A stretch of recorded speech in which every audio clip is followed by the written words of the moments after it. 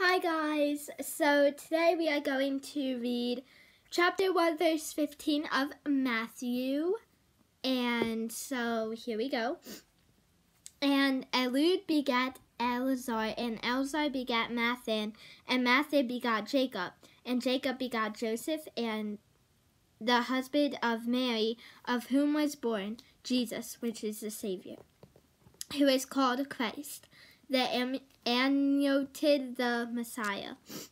So all the generations from Abraham to David are four, 14 generations, and from David until the carrying away into Babylon are 14 generations, and from the carrying away into Babylon unto Christ are 14, 14 generations. So, that is the reading that we are doing today. Uh, and tomorrow we are doing the birth of Christ. We're going to get into that.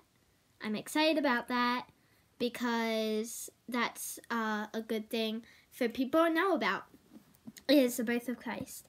So today I'm going to test out headphones, like talking into earbuds, and see if it sounds better um, because, you know, we had the situation with uh, the hearing because it's very quiet.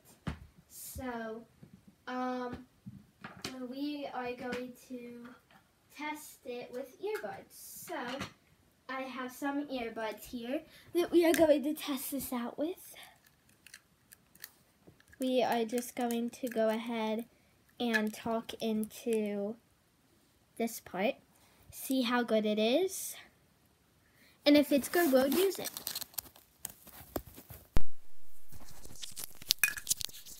Testing, testing, one, two, three. Can you guys hear me?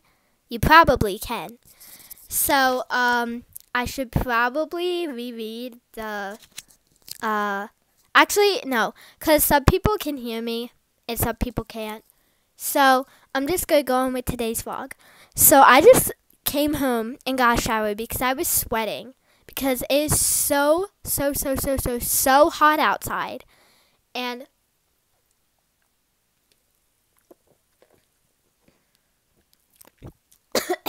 sorry, I swallowed wrong.